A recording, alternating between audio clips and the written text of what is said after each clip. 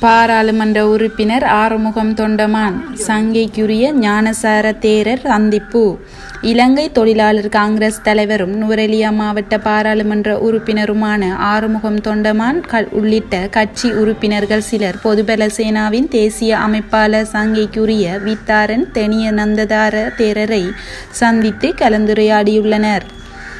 உயிர்த்தெழுந்த ஞாயிறு பயங்கரவாத தாக்குதல் சம்பவத்துக்கு பின்னர் நாட்டில் ஏற்பட்ட அமைதியற்ற நிலை மீண்டும் ஏற்படாமல் இருப்பதற்கு மேற்கொள்ள வேண்டிய நடவடிக்கை குறித்து இலங்கை தொழிலாளர் காங்கிரஸ் தலைவர் ஆறுமுகம் தொண்டமான் பொதுபல சேனாவின் தேசிய அமைப்பாளருடன் கலந்துரையாடியுள்ளார்.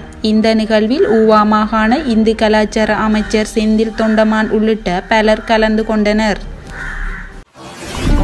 நாட்டிற்காக தியாகம் செய்த போர் வீரர்களை நினைவுபடுத்தி நூல் வெளியீட்டு விழா. நாட்டிற்காக பாரிய சேவையாற்றி பரம வீர விபூஷண பதக்கங்களை பெற்று தியாகம் செய்த இராணுவ வீரர்களை நினைவுகூரும் முகமாக சர்வதேச பண்டாரநாயக்க ஞாபகார்த்த நினைவு மண்டபத்தில் இம்மாதம் இருபத்தி இரண்டாம் திகதி பகல் மேன்மை தங்கிய ஜனாதிபதி மைத்திரிபால ஸ்ரீசேன அவர்களது பங்களிப்புடன் நூல் வெளியீட்டு விழா இடம்பெற்றது. நிகழ்வின் முதல் அங்கமாக தேசிய கீதம் இசைக்கப்பட்டு பின்னர் நாட்டிற்காக உயிர் தியாகம் செய்த படை வீரர்களை நினைவுகூரும் முகமாக இரண்டு நிமிட மௌன அஞ்சலியும் செலுத்தப்பட்டு நிகழ்வுகள் ஆரம்பமான. பின்னர் மங்கள விளக்கேற்றி ஆண்டு ரெண்டாயிரத்தி ஒன்பது தொடக்கம் ரெண்டாயிரத்தி பத்தொன்பதாம் ஆண்டு வரையான பத்து ஆண்டு வருடங்களை நினைவு கூறும் தேசிய தினத்தை முன்னிட்டு இராணுவ தளபதி லெப்டினன்ட் ஜெனரல் மகேஷ் சேனநாயக்க அவர்களினால் உத்தமச்சாரா மேன்மை தங்கிய ஜனாதிபதி மைத்ரிபால சிறிசேன அவர்களுக்கு இந்த நிகழ்வின் ஊடாக கையளிக்கப்பட்டன.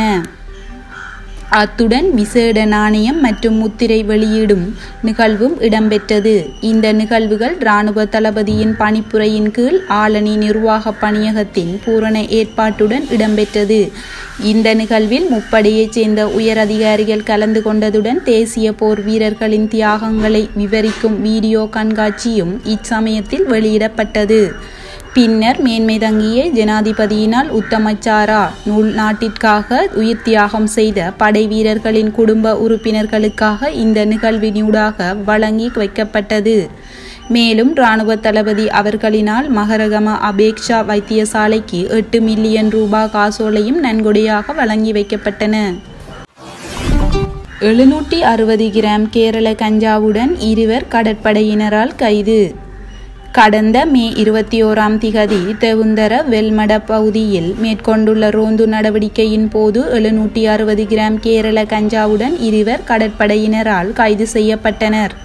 அதன் பிரகாரமாக தெற்கு கடற்படை கட்டளையின் கடற்படையினர் மற்றும் போலீஸ் சிறப்பு படையின் அதிகாரிகள் இணைந்து கடந்த மே இருபத்தி ஓராம் திகதி தவுந்தர வெள்ளமடம பகுதியில் மேற்கொண்டுள்ள சோதனை நடவடிக்கையின் போது குறித்த கேரள கஞ்சா பொதியுடன் சந்தேக நபர்கள் கைது செய்யப்பட்டனர்.